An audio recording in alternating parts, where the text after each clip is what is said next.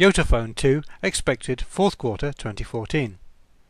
The original dual screen YotaPhone was announced way back at the end of 2012 and it took a year to get to market. Although the highly innovative feature of having a low power electronic paper display, EPD, in addition to a traditional colour one seemed like a good idea, the YotaPhone itself looked a little dated by the time it came on sale.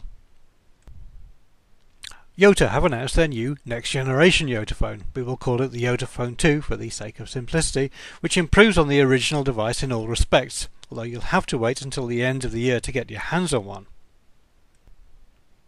Physically, the Yota Phone 2 looks very different from the slabby original, with a more curved design that includes a slightly convex EPD on the back.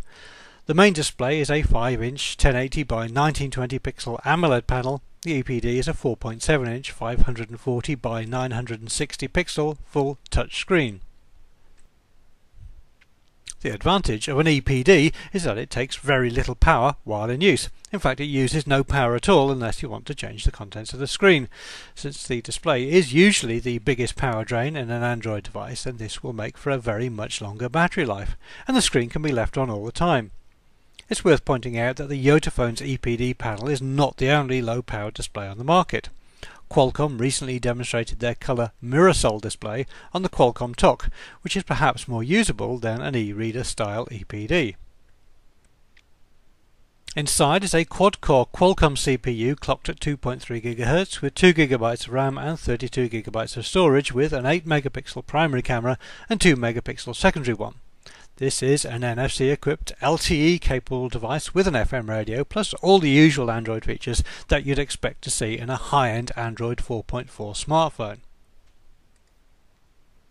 It isn't particularly big or heavy, weighing just 140 grams and measuring 144 by 70 by 8.9 millimeters. The internal battery is 2550 mAh batteries, which is a little smaller than some rivals, but then the use of the EPD helps a lot with battery life. Unconfirmed reports say that the YotaPhone 2 is capable of wireless charging.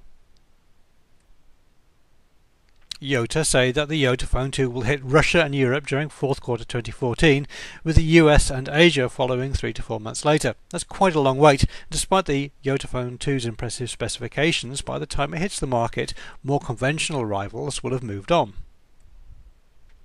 The existing YotaPhone retails for around 500 euro and we'd expect the next generation to cost about the same when it comes to market.